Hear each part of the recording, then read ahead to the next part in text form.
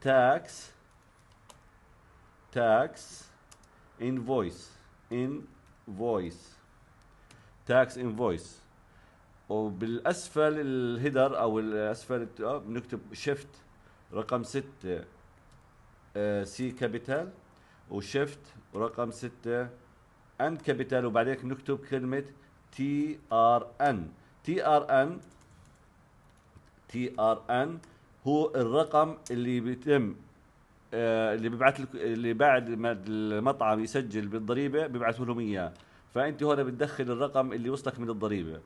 وبعد هيك بتعمل save.